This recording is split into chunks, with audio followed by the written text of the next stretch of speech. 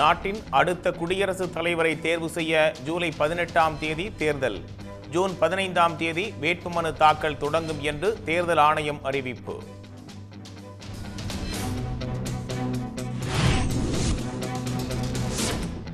அரசு பள்ளிகளில் LKG UKG வகுப்புகள் தொடர்ந்து செயல்படும். பள்ளிக் கல்வித்துறை அமைச்சர் அன்பில் மகேஷ் திட்டவட்டம்.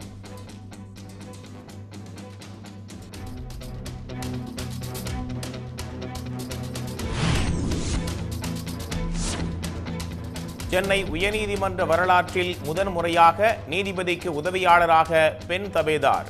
உயர்நீதிமன்ற பணிகளுக்கு நடைபெற்ற தேர்வில் தேர்ச்சி பெற்றவர்கள் நியமனம்.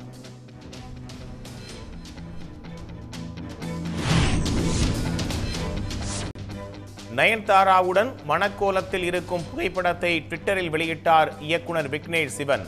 மாமல்லபுரம் நட்சத்திர விடுதியில் நடைபெற்ற மணவிழாவில் குடும்பத்தினர் திரையுலகினர் பங்கேற்பு.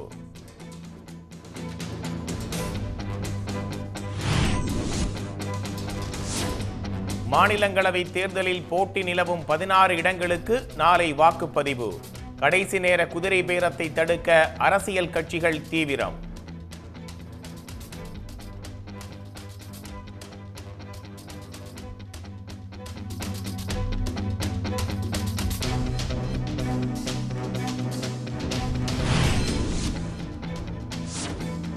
தூத்துக்குடியில் மலர்களின் விலை கிடுகிடு உயர்வு. ஒரு கிலோ மல்லிகை ஆயிரம் ரூபாய்க்கு விற்பனை.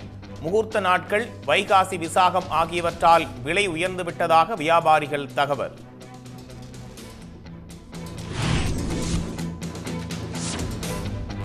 மகாராஷ்டிராவில் சிறையில் உள்ள நவாப் மாலிக் அனில் தேஷ்முக் ஆகிய இருவரும் மாநிலங்களவை தேர்தலில் வாக்களிக்க தடை.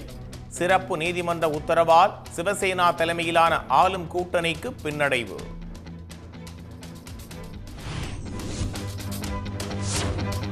கர்நாடகாவில் பாரதிய ஜனதாவிற்கு இரண்டு காங்கிரசுக்கு ஓரிடம் உறுதியாகிவிட்ட நிலையில் நான்காவது இடத்திற்கு கடும் போட்டி. மதச்சார்பற்ற ஜனதாதளம் கட்சி எம்எல்ஏக்களை விலைபேச முயற்சிப்பதாக குமாரசாமி குற்றச்சாட்டு.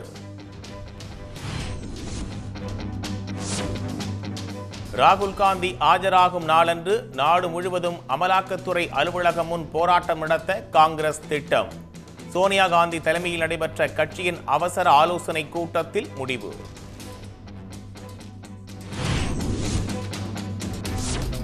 தமிழ்நாட்டில் ஆயிரத்து அறுநூற்று இருபத்தி ஏழு கோடி ரூபாய் மதிப்புள்ள பாரத் நெட் திட்டம் தொடக்கம். சென்னையில் முதலமைச்சர் மு க ஸ்டாலின் தொடங்கி வைத்தார். சசிகலாவை அதிமுகவில் சேர்க்கும் பேச்சுக்கே இடமில்லை. முன்னாள் அமைச்சர் நத்தம் விஸ்வநாதன் திட்டவட்டம்.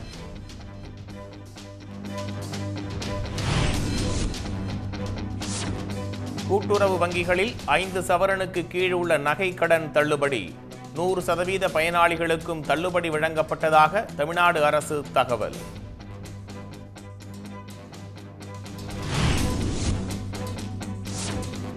நடிகர் ரஜினியுடன் இணைந்து நடிக்க எப்போதும் தயார்.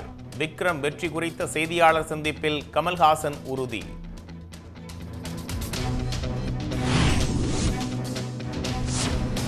கர்நாடக மாநிலம் பொம்மச்சந்திராவிலிருந்து ஹோசூருக்கு மெட்ரோ ரயில் பாதை. கர்நாடக அரசு ஒப்புதல் அளித்துவிட்ட நிலையில் தமிழ்நாடு அரசு திட்ட மதிப்பீடு தயாரிக்க கோரிக்கை.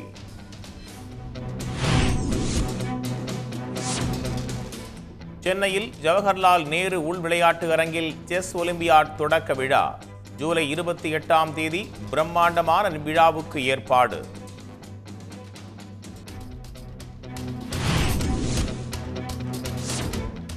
விளம்பரத்திற்காக கோமாவில் இருந்து எழுந்து வந்து பேசுவதை நிறுத்த வேண்டும். மதுரை ஆதீனத்திற்கு எதிராக நடிகர் விஜய் ரசிகர்கள் சுவரொட்டி.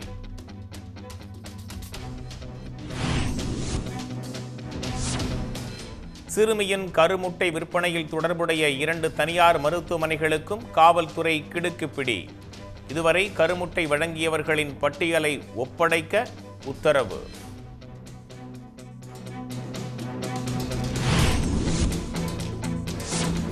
திருப்பூர் மாவட்ட ஆட்சியர் பெயரில் மீண்டும் பண மோசடிக்கு முயற்சி. வாட்ஸ்அப்பில் குறுஞ்செய்தி அனுப்பி கைவரிசை காட்டியவர்கள் குறித்து போலீசார் விசாரணை.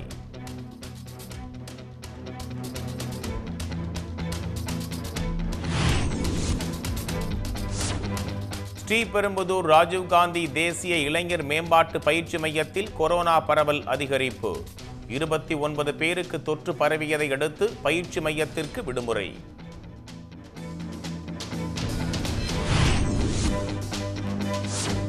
இந்த மாதம் முதல் ராம்கோ சிமெண்ட் விலை உயர்வு. மூட்டைக்கு இருபது முதல் இருபத்தி ஐந்து ரூபாய் வரை உயர்த்த முடிவு.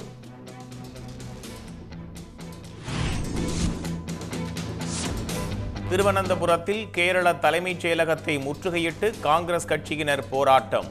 தங்க கடத்தல் வழக்கில் குற்றச்சாட்டுகள் எழுந்திருப்பதால் முதலமைச்சர் பினராயி விஜயன் பதவி விலக கோரிக்கை.